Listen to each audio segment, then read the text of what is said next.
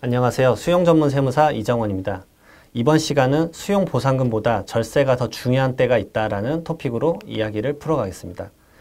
어, 먼저 수용 관련된 양도소득세는 부동산에 대한 양도 차익이 나오고 이에 대한 일부의 세금을 신고 납부하는 것이기 때문에 대부분의 토지 보상자분들 미팅을 가질 때 무조건 높은 보상가액만 주장하면 되는 것 아니냐라는 생각을 많이 하시는데요. 자, 그러면 최근 2년간에 중앙토지수용위원회에서 있었던 그 수용 재결로 요청사항에 대한 통계를 보면서 절세의 중요성을 하나씩 설명드리겠습니다. 수용 재결은 토지 소유자가 토지 보상 과정에서 제기한 불만을 사업 시행자가 해소하지 못했을 때 이에 대한 갈등 해소를 위해서 위원회에 요청을 하는 것을 말합니다.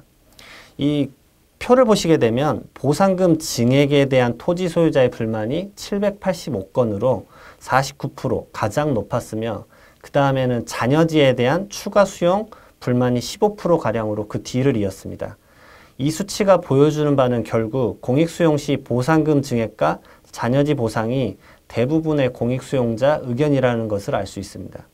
그럼 수용재결의 의견 수용은 얼마나 받아들여졌을까요? 파란색 칸을 보시면 아시겠지만 1600건에서 644건인 40% 정도만이 수용이 되었습니다. 즉 토지 보상가액이 측정되었을 경우에 그 토지가 인근 토지보다 내 땅이 훨씬 더 가치가 높다. 이런 것들을 주장하기 위해서 보상금 증액을 요청하시더라도 이에 따른 그 의견 수용도 통계적으로는 40% 정도밖에 되지 않는다는 사항입니다. 이는 실질적으로 공익 수용의 기간이 대부분 2년에서 3년이 넘어가는 상황인데 이 절세 플랜을 통해서 경제적 실익을 고려한다면 빠른 보상금 수령 후에 이 재투자 투자처를 마련해서 더 토지 소유자에게 긍정적으로 나아갈 수도 있는데 2, 3년간 토지 보상금을 못 받아서 그 오히려 토지 보상금에 대한 증액도 일어나지 않게 된다면 토지 보상자에게는 손실로 이어질 수도 있습니다. 이것을 제가 경험한 예를 통해서 말씀드리겠습니다. 이분은 이제 여러 필지 창고 임대업을 하고 계셨는데요. 그 공익 수용으로 인해서 보상받게 되었고 토지 소유자 이 A씨는 그 산정된 보상금이 만족스럽지 않았습니다. 그래서 바로 수용 재결 신청을 하였고 2년의 시간이 지나서 4천만 원 정도의 보상금 증액을 이뤄내셨어요. 이 부분까지는 좋았는데 보상금 증액 후 그 여러 필지의 토지와 그 창고 건물이 일시적으로 보상금을 받게 됨으로 인해서 높은 노, 누진세율과 함께 공익 수용 감면을 1억 원만 적용받을 수 있었습니다. 공익수용 감면 같은 경우는 최대 1과세 기간에 1억까지 밖에 안 되거든요. 그런데 이제 A, A씨가 절세 전략을 수립했으면 어떻게 됐을까요? 첫 번째로 우선 양도 시기를 두 회로 나눌 수 있습니다.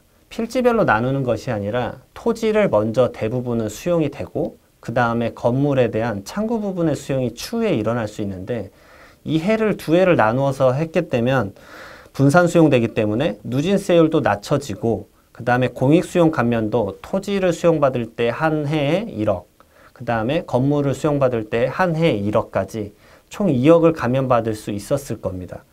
그래서 이 최종적으로 신고서를 작성할 때 보상금 증액을 포함해서 1억 4천만 원의 이상의 절세를 할 수 있었다라고 말씀드리니까 이분이 깜짝 놀라셨습니다. 즉 보상금 증액에 대한 공을 많이 들이는 것도 있지만 그에 대한 적당한 공을 절세 플랜을 위해서라도 쓰신다면 아주 두 마리 토끼를 다 잡을 수 있는데 이 부분을 놓치는 거에 대해서 항상 좀 염려를 하셨으면 좋겠습니다. 이상 두 번째 시간 수용 보상금보다 절세가 중요한 때가 있다 마치도록 하겠습니다. 감사합니다.